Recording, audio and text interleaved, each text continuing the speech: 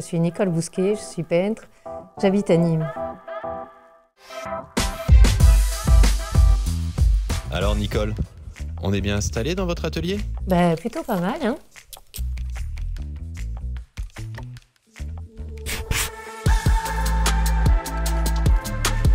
La peinture, euh, ça est depuis très très longtemps et professionnellement depuis une quinzaine d'années.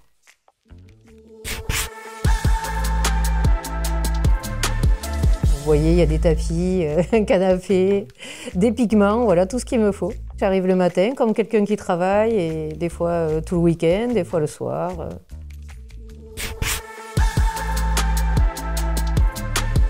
Dans le regard, je pense que qu'il y a toute la personne en fait. Voilà, les yeux sont le, le reflet de l'âme, on dit.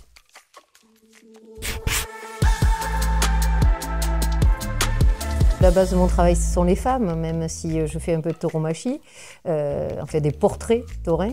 Les femmes, euh, pour moi, c'est beau, euh, c'est beau nu, c'est beau habillé, c'est beau à, à peindre, c'est bon à dessiner. et puis le nu, la femme n'a rien à cacher, il y a aussi quelque chose comme ça de, de nature.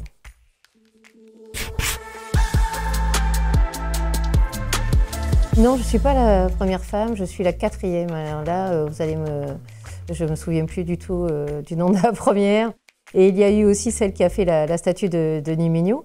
Et, puis Brigitte Weyman aussi, euh, qui fait partie des services comme de la mairie. C'est une grande fierté.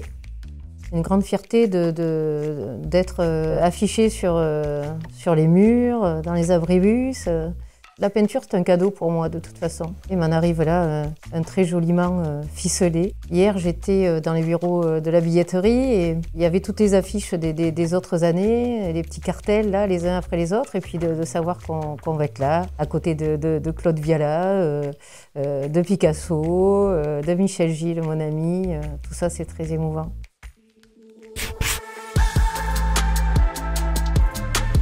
Ça a été plutôt, euh, plutôt tout en douceur. hein, euh, on m'a demandé si, euh, j'étais intéressée par faire l'affiche. Bien sûr que, oui. On m'a dit qu'on reviendrait vers moi un petit peu plus tard. Deux, trois mois ont passé et, après plusieurs peintres proposés à Monsieur le maire, il m'a choisi. Et après, il m'a reçu dans, son bureau pour me demander si j'avais des idées. Et j'ai dit oui.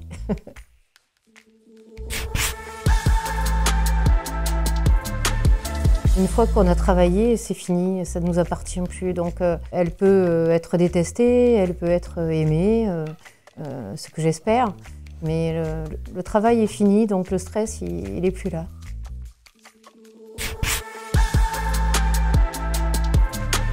C'est là où j'habite depuis 20 ans. J'ai acheté une maison rue du Mail, c'est juste à côté. C'est un quartier que j'aime beaucoup, où il y a tout. euh, on sort, le, boulanger. C'est dommage après que, que certains commerces aient disparu. Le fleuriste, j'aimais beaucoup aller acheter des fleurs.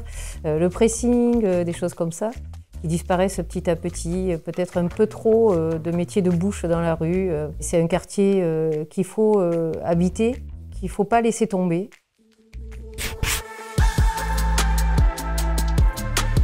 C'est Conchita Cintron.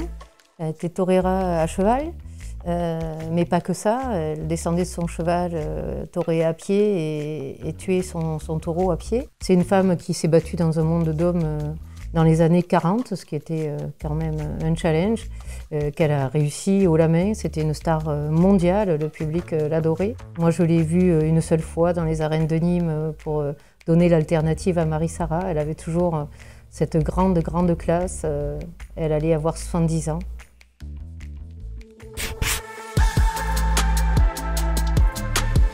Grande, grande, grande fierté. Et puis euh, Nîmoise de cœur et euh, j'ai vraiment choisi Nîmes, j'en suis repartie, et j'y suis revenue. Je me sens euh, totalement euh, nîmoise et chez moi ici.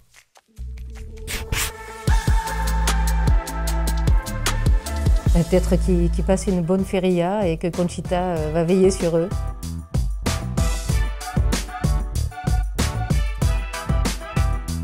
Merci beaucoup.